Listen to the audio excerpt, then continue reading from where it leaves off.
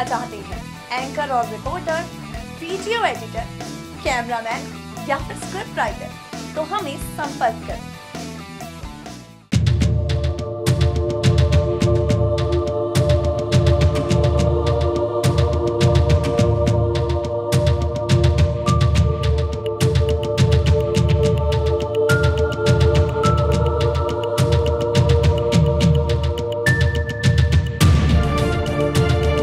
नमस्कार, आप देख रहे हैं एस पी नाइन न्यूज़ मैं राशिद अली। ये जो खबर मैं आपको दिखाने जा रहा हूँ, ये खबर बड़ी ही नाजुक है और एक समुदाय से खास जुड़ी है और उस समुदाय में इसको बहुत तरजीह दी जाती है। और इस बहुत ही, इस बात का ख्याल रखा जाता है और ये बहुत ही एक बड़ा मुद्दा है एक समुदाय के लिए। लेकिन इसमें जब केंद्र सरकार अगर हस्तक्षेप करती है तो एक समुदाय ये कहता है कि आखिर इसमें तुम हमारे कानून में या फिर हमारे समाज में हस्तक्षेप क्यों कर रहे हो? लेकिन उस समुदाय की महिलाएँ जब इससे पीड़ित होती हैं, जब उन पर गुजरती है, जब उन पर अत्याचार होते हैं तो आखिर वो किधर जाएँ? दोनों ही तरफ़ असमंजस की स्थिति है। ना इधर की कह सकते हैं, ना उधर की कह सकते हैं कि आखिर इस मामले का निचोड़ क्या निकला जा सके। मैं आपको सीधा लेके चलता हूँ खबर की ओर। आप देख सकते हैं तीन तलाक के बाद हलाला बैन कराना चाहती है केंद्र सरकार। प्रतिबंध के लिए चुना यह रास्ता। वो कौन सा रास्ता है, मैं आपको बताऊँगा। कानून मंत्रालय के एक वरिष्ठ पदाधिकारी ने बताया कि सरकार सुप्रीम कोर्ट में निकाह, हलाला की प्रथा का विरोध करेगी, जब शीर्ष अदालत आने वाले दिनों में इसकी कानूनी वैधता की पड़ताल करेगी। अब मैं आपको बताता हूँ कि जब तीन तलाक के बाद हलाला बैन कराना चाहती है सरकार, जब तीन तलाक पर सरकार ने जो कि कानून बनाए थे, जो कि फैसले सुनाए थे, हालाँकि उसको लेकर कुछ टीवी चैनलों में कुछ दो चार महिलाएँ सामने आई थी और एक दूसरे को मिठाई खिला रही थी और मोदी सरकार को धन्यवाद दे रही थी, लेकिन बड़े समुदाय की ऐसी महिलाएँ थी, बड़ी तादाद में ऐसी महिलाएँ थी जो इसका विरोध भी कर रही थी। दोनों ही बातें देखनी ज़रूरी है कि समर्थन की गिनती में कितने हैं और विरोध की गिनती में कितने हैं। दोनों ही बातों को हमें लेकर चलना चाहिए। मैं आपको लेकर चलता हूँ खबर की ओर। केंद्र सरकार इस्लाम में तीन तलाक को खत्म करने के बाद निकाल हलाला की प्रथा पर रोक लगाने की कोशिश में है। इस प्रथा पर रोक के लिए भी सरकार कोर्ट का सहारा ले सक, ले रही है। कानून मंत्रालय के एक वरिष्ठ पदाधिकारी ने बताया कि सरकार सुप्रीम कोर्ट में निकाह हलाला की प्रथा का विरोध करेगी। जब शीर्ष अदालत आने वाले दिनों में इसकी कानूनी वैधता की पड़ताल करेगी। निकाह हलाला मुसलमानों में वह प्रथा है। आप ध्यान से देखिएगा कि आखिर क्या प्रथा है और क्या इसका चलन है और क्या इसके फ़ायदे हैं और क्या इसके नुकसान हैं। निकाह हलाला मुसलमानों में वह प्रथा है जो समुदाय के किसी व्यक्ति को अपनी तलाकशुदा पत्नी से फिर से शादी करने की इजाज़त देता है। मंत्रालय के अधिकारी ने कहा कि सरकार का मानना है कि यह प्रथा लैंगिक न्याय यानी कि जेंडर जस्टिस के सिद्धांतों के खिलाफ है। और उसने इस मुद्दे पर शीर्ष कोर्ट में अपना रुख स्पष्ट कर दिया है। बात करते हैं। हालाँकि सुप्रीम कोर्ट ने तब सिर्फ़ फौरी, यानी कि तीन तलाक के मुद्दे पर सुनवाई करने का फैसला किया था, जबकि निकाह हलाला, बहु विवाह प्रथा पर अलग से विचार करने का फैसला किया था। जी हाँ ये आप देख सकते हैं कि पहले सुप्रीम कोर्ट ने तब सिर्फ़ तीन तलाक के मुद्दे पर सुनवाई करने का फैसला किया था, जबकि निकाह हलाला और बहुविवाह प्रथा पर अलग से विचार करने का फैसला किया था। मार्च में सुप्रीम कोर्ट ने निकाह हलाला और बहुविवाह प्रथा पर केंद्र को नोटिस जारी किया था। अधिकारी ने कहा कि सरकार का रुख एक जैसा है, भारत सरकार इस प्रथा के खिलाफ है। यह सुप्रीम कोर्ट में प्रदर्शित होगा, यानी कि अधिकारी ने साफ़ कहा कि सरकार का रुख एक जैसा है। भारत सरकार इस प्रथा के खिलाफ है। एक समुदाय की यह प्रथा है और भारत सरकार उसके खिलाफ है। यह सुप्रीम कोर्ट में प्रदर्शित होगा। शीर्ष कोर्ट ने पिछले साल तीन तलाक की प्रथा को असंवैधानिक घोषित करार दिया। अच्छा असंवैधानिक घोषित कर दिया। सरकार तीन तलाक को एक दंडनीय अपराध बनाने के लिए बाद में एक विधायक लेकर आई। लोकसभा ने यह विधायक पारित कर दिया और अब यह राज्यसभा में लंबित है। यह तीन तलाक को अवैध बनाता है और पति के लिए तीन साल तक की कैद की सजा का प्रावधान करता है।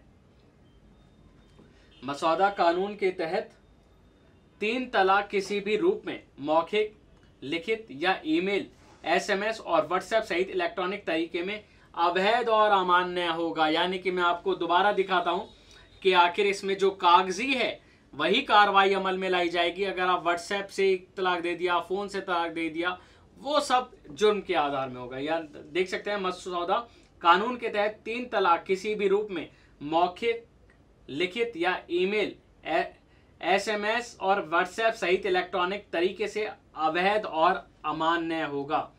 निकाह, हलाला की कानूनी वैधता की अब सुप्रीम कोर्ट जो कि पड़ताल करेगा।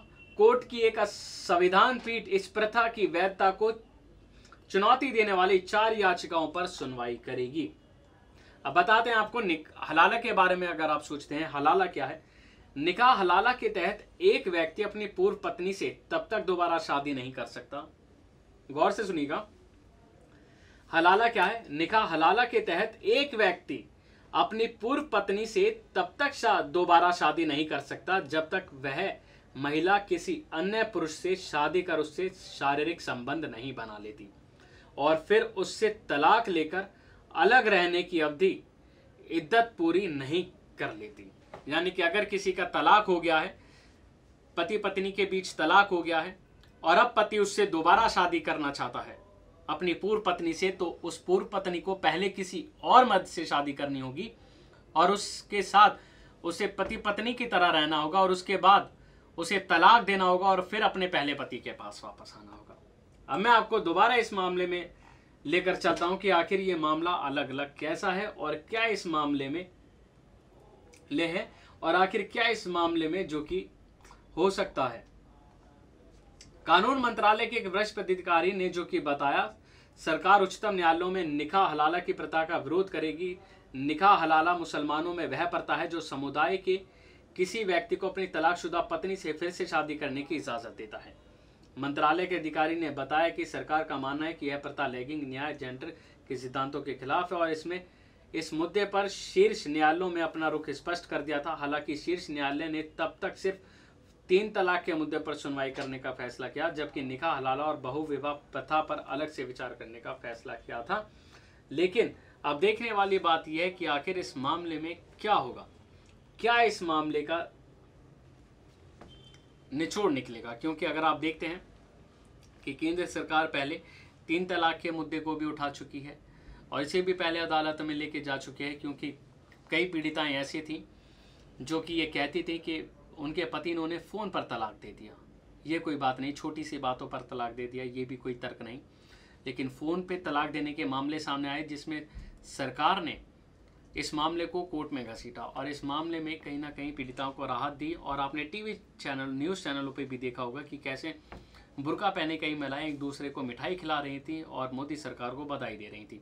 इसके बावजूद भी फिर अब आते हैं हलाला के मुद्दे पर, जो कि हलाला मुद्दा क्या है मैंने आपको समझाया कि एक प्रथा होती है और कैसे अगर पति पत्नी है और उनके बीच तलाक हो गया है तो अगर पति को अपनी तलाकशुदा पत्नी से दोबारा शादी करनी है तो वो कैसे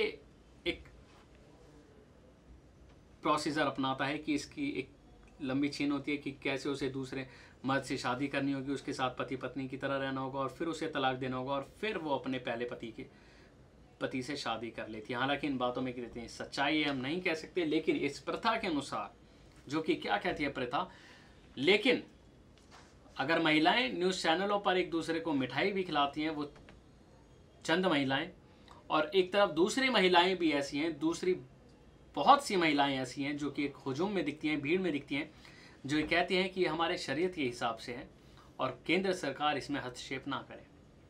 लेकिन एक तरफ़ पीड़ित हैं तो दूसरी तरफ़ पूरा समाज है। एक तरफ़ किसी का दर्द है तो दूसरी तरफ़ उनकी शरीयत है। एक तरफ़ केंद्र सरकार है तो दूसरी तरफ़ एक समाज है। और अब आखिर इसमें क्या कहा जाए? और अब आखिर इसमें क्या निचोड़ निकाला जाए?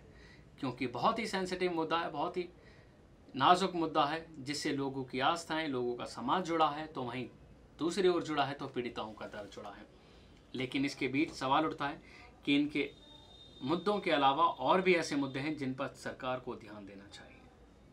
जिन पर सरकार, इन केवल एक ही समाज की महिलाओं की नहीं, बल्कि अगर तमाम समाज की महिलाओं की फ़िक्र करेगा तो ज़्यादा सही रहेगा। एक सम महिलाएँ इस जब सरकार इस फैसले को उठाती है तो ये भी आरोप लगता है कि सरकार ये केवल अपना वोट बैंक बढ़ाने के लिए करती है, क्योंकि बात उठती है तो तमाम मुद्दों को देखना चाहिए, तमाम मुद्दे गिरते हैं, तमाम इनमें एंगलों को देखते हैं। लेकिन सवाल ये उठता है कि अगर फ़िक्र है सरकार तो केवल एक समाज की नहीं, बल्कि सारे देश की महिलाओं की वो पीड़ा को समझे, सारे देश की महिलाओं का दर्द समझे, ना सिर्फ़ बजाय एक समुदाय की महिलाओं का। तो अब देखते हैं इस मामले में आगे क्या होता है और क्या निचोड़ निकलता है। तब तक के लिए दीजिए इजाज़त। नमस्कार।